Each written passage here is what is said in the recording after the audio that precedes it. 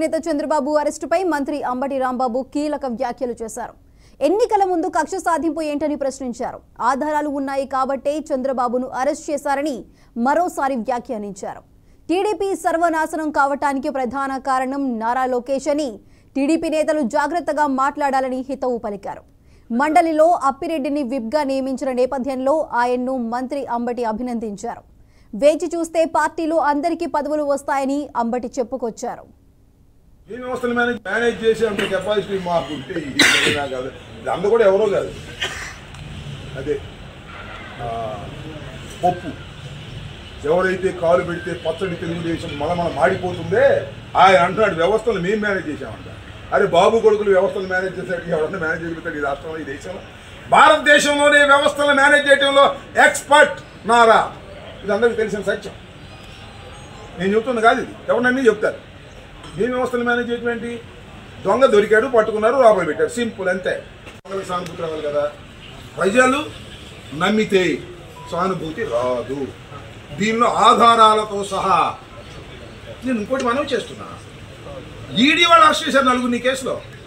Central government not in the state government మొన్నే ACB కోర్టులో చెప్పాడు ఇరవై ఏడు కోట్ల రూపాయలు అటు తిరిగి వచ్చి మళ్ళీ వీళ్ళ అకౌంట్లో పడ్డాయి. అదేమంటే చందా అంట. లోకేష్ బాబు అంటున్నాడు. చందా ఇచ్చారు అని. చందాలే ఇస్తారు మీకు ఏదో ఒక రూపంలో. ఇరవై ఏడు కోట్లు చందా ఇచ్చే మొగోడు ఎవడే నాకు అర్థం కాదు. నువ్వు క్యాష్ కొడితేనే కదా అటు అటు తిరిగి వచ్చింది. ఈ స్కిల్స్ స్కామ్ డబ్బులే అటు వచ్చినాయి. ఇలా ఎన్ని వచ్చినాయో ఇన్వెస్టిగేషన్ తేల్తాయి. ఒక్కోటి ఒక్కోటి ఒక్కోటి బయటకు వస్తుంది. ప్రజాధనాన్ని దుర్వినియోగం చేశారు. ప్రజాధనాన్ని దోచుకున్నారు. ప్రజాధనాన్ని దోచుకున్న వాళ్ళని అన్యాయం చేసిన వాళ్ళని అవినీతి చేసిన వాళ్ళని జైల్లో పెడితే సింపతి రాదు. చూసుకోండి మీరు. ఇదే పచ్చి ఉదాహరణ. చంద్రబాబుని జైల్లో పెడితే సింపతి ఎందుకు రాదు అంటే చంద్రబాబు అవినీతికి పాల్పడ్డాడని రాష్ట్ర ప్రజలు నమ్ముతున్నారు. నమ్ముతున్నారంటే ఎందుకు నమ్ముతున్నారంటే ఆధారాలు కూడా చూపిస్తున్నారు న్యాయస్థానంలో. ఇంకోటి మాట చెప్తానయ్యా.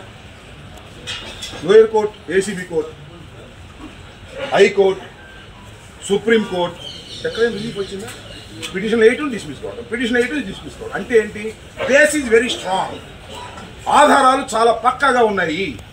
ఇన్ని పక్కాగా ఆధారాలు ఉన్నప్పుడు కోర్టులు బెయిల్ ఇవ్వరు. ఇది సింపుల్ ఇక్కడ నుంచి భారత న్యాయస్థానాలు ఎన్ని ఉన్నాయి?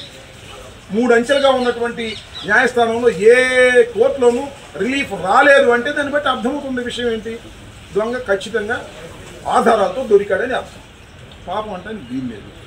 ప్రజాధనాన్ని దుర్వినియోగం చేసి ప్రజాధనాన్ని బొక్కిన వాళ్ళని ఖచ్చితంగా విచారణ చేయవలసిందే వాళ్ళకు శిక్షలు పడవలసిందే ఇది ప్రజాస్వామ్యంలో జరిగి తీరవలసిందే.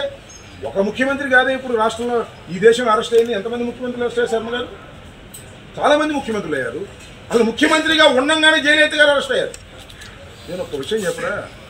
ముఖ్యమంత్రులు చేసి అరెస్ట్ అయిన వాళ్ళు న్యాయస్థానంలో విచారణ చేసిన తర్వాత మళ్ళీ ముఖ్యమంత్రులు అయిన వాళ్ళు ఎవరు లేరు ఒకరు ఇద్దరు అంటారు తప్ప అంతే. కథం మీకు అంతటితో రాజకీయ జీవితం కథం అనేది గుర్తుపెట్టుకోమని ఈ సందర్భంగా నేను